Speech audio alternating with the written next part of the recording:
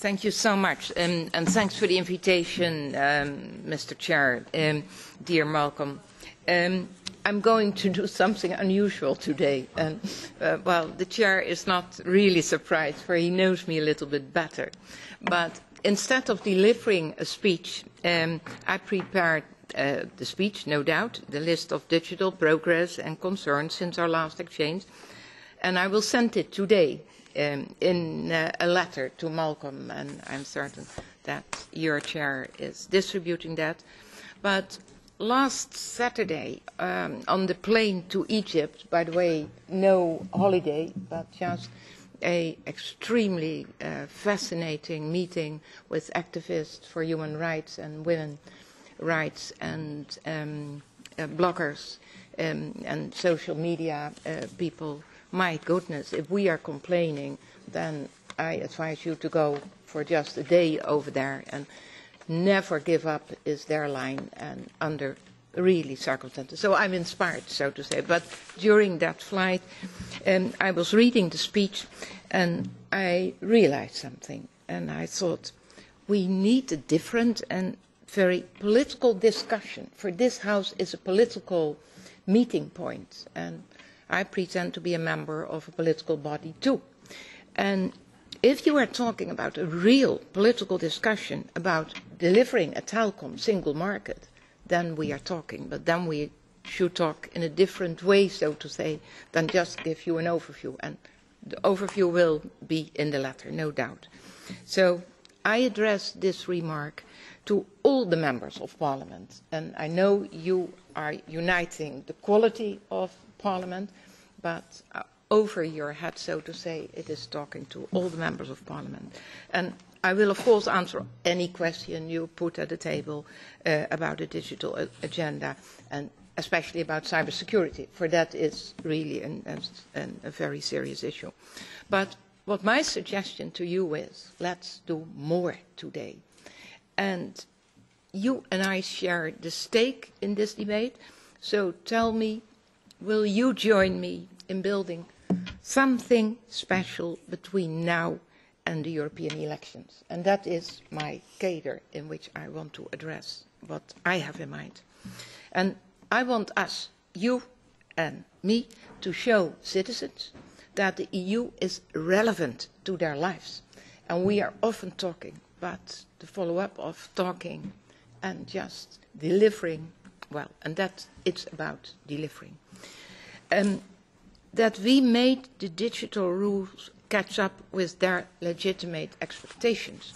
For that is often at stake at the moment. Anyhow, that's my experience, that citizens, wherever in what part of Europe you are discussing with people, that people are saying, okay, we get your point of a united Europe, we get your point of a single market, but please we have legitimate experience and uh, legitimate expectations. So just show us. And I want you to be able, and that's not because I'm much older than you are, but it is because I have been a politician in former days on a national level, so I pretend to know a bit. I want you to be able to go back to your constituencies and say that you and that we are able to end mobile roaming costs. And I want you to be able to say that you saved their right to access the open internet by guaranteeing just net neutrality. And I want you to be able to say, we took real action on cybercrime and other threats.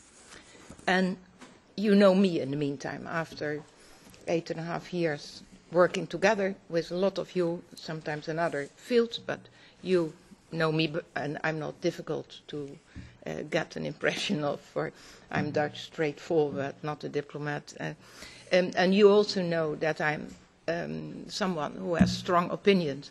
Well, at my age, you don't change that, and I don't want to change it, for I think it's also uh, giving uh, food for um, a uh, worthwhile debate. Um, and I also know that we didn't always show in uh, shared opinions. That, that is also, but that would be strange if we, on, uh, in, in uh, several fields, always share the same opinions. But I want you to know that I have been impressed deeply, and that is out of my heart, by the commitment of the Parliament, Malcolm, of the committee, to just the commitment to telecoms and wider digital issues, the commitment that we have in common. And you kept uh, fighting for change, and that was absolutely a, um, a recognizable issue. And you kept fighting for change when many leaders did not listen or did not understand or did neglect.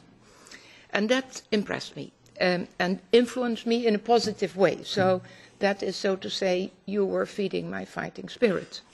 And I want to channel your knowledge and I want to share your passion and into the legislation needed to deliver a real single market. For there we are talking of we, I myself, I'm always explaining wherever and to whomever that we have a crown jewel in Europe. And the crown jewel is, so to say, the single market. Still a lot to do, but the, the, the fact is there we have a single market. And it's my belief, Malcolm, that we can deliver such a package, but then I'm talking about a full, a final package around Easter next year, 2014. Imagine um, that we could do that, but that is a close cooperation and that is really a will to come to such a uh, goal. It will be good for Europe, that is without any doubt. Good for the economy, grown, stimulated, breaking uh, down barriers. But when I think about this package that I have in mind, I think about people rather than numbers. For that is one of those issues that we are often uh, attacked upon. You in Brussels, you are not thinking of people. In this case, I can assure you, I'm thinking about people uh, rather than numbers, so to say. Take, for example, the younger generation. And I learn the most of my young advisory board. They are quite smart. They are young, but okay, that is changing every day, so to say, but they are smart in the way that they are not buying just nice stories and saying, wait a bit, and we, and so on, a new consultation and a new committee and a new, and so on and so forth. The young generation, that generation, that cares most about being connected, being connect, connected. And by the way, that is the generation that votes the least. And that's an interesting category for all of us and not because you can get a safer position in your constituency. That, by the way, is not a bad thing. But it is talking about involvement of all of the citizens, so to say. They, still talking about that young generation, they need a strong and digital economy to escape the unemployment trap. And I have often said, and Malcolm, we discussed it recently, that the biggest threat at the moment is the horrible figure of youth unemployment in certain member states, but no member state is excluded from a rising figure of youth unemployment. And that is the worst we can uh, just face. And we have to tackle that, for otherwise we are talking about a lost generation, and with a lot of consequences when you are talking about a lost generation. So to escape the unemployment trap, we need to have a strong and digital economy and think also about the aging population. For there, perhaps we need a bit more explanation to them, not to you. I'm, I'm aware that you are aware. We are talking in the aged and aging population about people who need new digital services to stay healthy and active without losing their dignity and independence. And I'm always showing my own band, and I don't make an advertisement from which company it is. This is to be checked if I have enough exercise on a day. And if at the end of the day, and I can show it to you, for there is no so I didn't do a lot today, but I have to fill in that whole Ah, part. I knew what So, but, but this is, for me anyhow, a check. What am I doing for my condition? And at the end of the day, if it's not fulfilled, then I'm running a block again. And don't ask me if that's always a pleasure, but uh, anyhow. So, talking about an aging population with the new digital services, there is so much at stake, and we can give them their dignity in living longer independent and still have a comfortable feeling that there is taken care of them if it's needed and your own check by the way with those digital services and if we do this right then digital connections can bring political connections for then all the elderly people are also interested for they are interested in a independent and in a uh, dignified world in which they can live. So digital dividends can bring social ones. Easy like that. I'm not promising, Malcolm, a single market package that gives you everything you dreamed of. Um, I'm too old for that. Um, for that is challenging, but let's be realistic. This package that I have in mind will have to strike a sensitive balance if we are to agree it quickly. And that is what is also limiting me, us, because it's great to have a, a broad debate, but if time is over, then it is not uh, implemented and it's not delivered. I'm promising you to spend the next 12 months, and I'm counting in your calendar, uh, so to say, building a bridge with you to our citizens and your constituencies. Whether they need it for travel or for trade or for transactions or for fun, our people need this reform. And everyone loves the benefits of EU price cuts to roaming. Come on, that is clear like crystal. It is the one thing even Euro critics agree the EU did well. If you are asking what was the first term of Barroso's Commission best result, I can assure you it's this one. It's, and I can also assure you that there are a long list of other issues, but not as visible. And it could never ever happen without the EU. So we couldn't have had that step without the EU.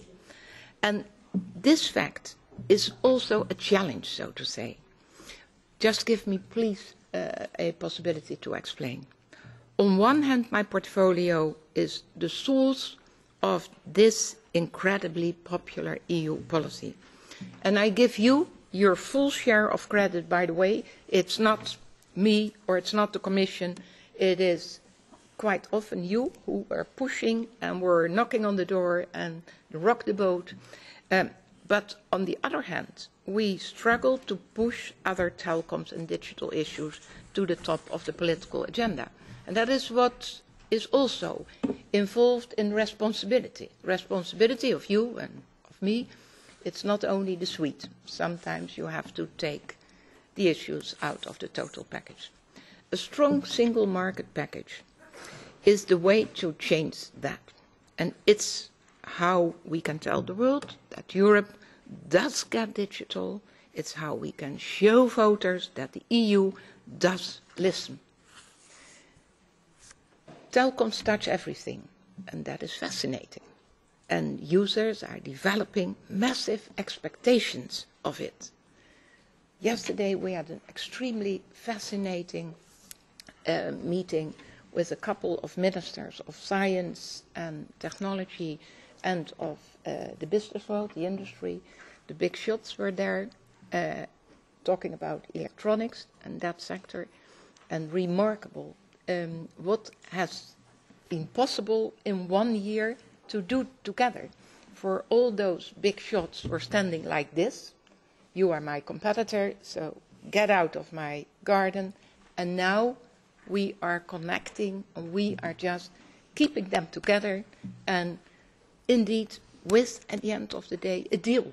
Last night there was a big deal that talking about electronics from 10% talking about our global part in the cake to 20% in 2020. And then we are talking about creating and talking about, indeed, uh, pushing jobs and the economy. I'm just using that example. It is so wide when we are talking about telecoms, for it's all connected. It's all connected. Whatever you are using, it is. Markets must function, devices must function, uh, networks must function, so to say, and investment needs to happen.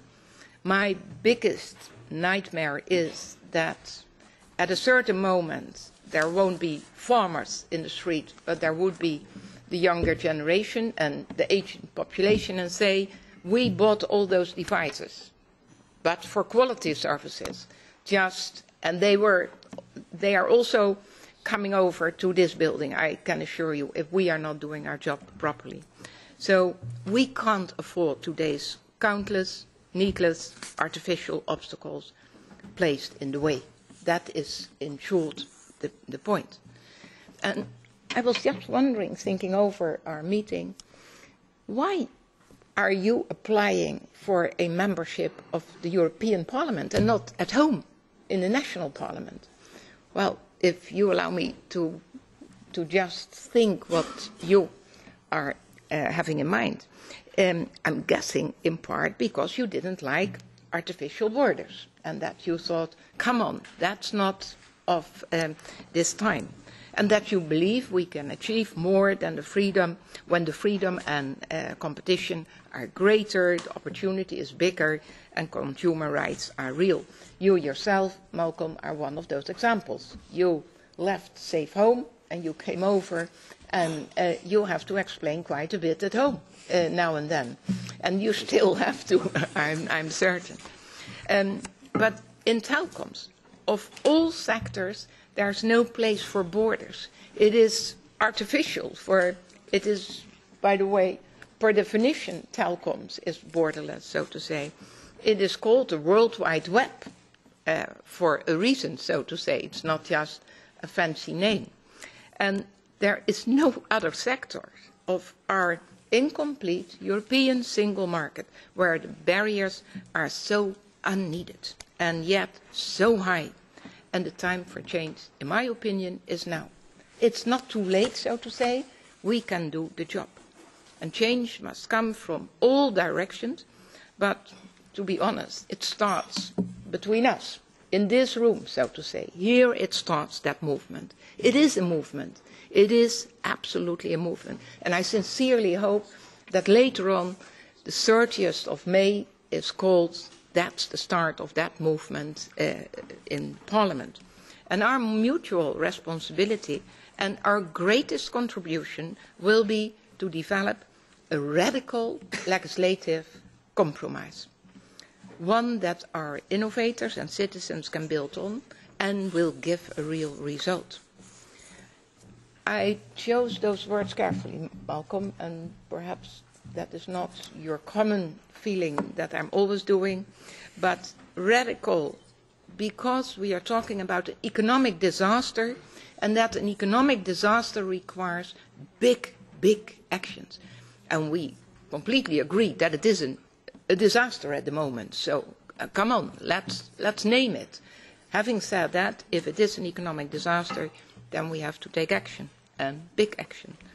And the word compromise, for that was also mentioned, because everyone will have to give in order to get.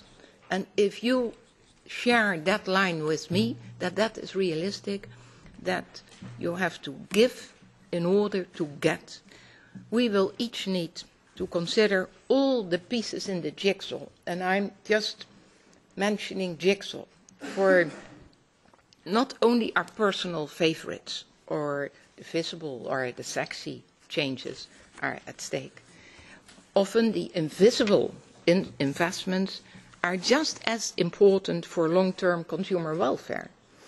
And in the case of roaming, it is only if a genuine single market actually exists, for otherwise it is an artificial measure with a disastrous consequence if you are not thinking over. So it's only if a genuine single market actually exists that roaming can cease and uh, to exist in legal or economic terms. And that is why we have to put in place all of the pieces of the jigsaw, and that is the challenge, so to say. Having said that, we need to avoid a, a, a fight about structures. I'm getting so fed up with all those fights about structures. And I'm not saying that it's always um, not to be done, but in this case, just let's avoid that type of uh, fights, for that is time consuming, and then we are running out of time, so to say. We must keep citizens, not bureaucracy, at the front of this package. And that is what is just um, inspiring me. It is about citizen and not about the bureaucracy. And even if I'm losing a couple of friends in the bureaucracy, then uh, it, it's um, a fact of life. This aside, I come to you with an open mind about how to assemble the jigsaw. And I will take my responsibility for addressing the concerns of those who resist change. And I'm old enough to know that there are always people who resist, per definition, change because it's giving uncomfortable feelings or whatever. And I'm not afraid to do that because the potential is enormous. Well, I'm passionate, but that was already clear, and I shall tell you why. It's useless for me to rock the boat on my own. That is just perhaps nice for an afternoon, but that doesn't help. We have support from the highest levels that is, I'm counting my blessings now and then. I'm getting support from the highest levels in the institutions to push forward. And you recognize when the Council uh, of Heads of State was giving that point. I count my blessings. But I can't do it without you, for your important part of playing this game, and it's not a game, but playing this is quite clear for me. I believe we have enough ground in common to rock the boat and that we can do it together and then sail into the harbor. Well, wouldn't that be nice? Um, all the political building blocks are there. Citizens want um, their frustrations dealt with. And you are aware of that, for I'm sure when you are going to your constituency that that is one of the main issues at home but not only at home, also elsewhere. More companies will invest in the artificial, if the artificial barriers are uh, put down. And national governments tell us we have to do it, for that was the, the clear message. So if you believe in the single market, if you believe in strong Europe, that makes a practical difference to each citizen's life, then not only believe in this, but let's act together.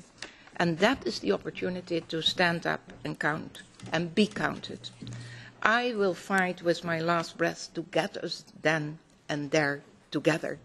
And that will make sense. And that will be the goal that we can do, still in your office and in, in term of office, and still in my term in office. Thank you.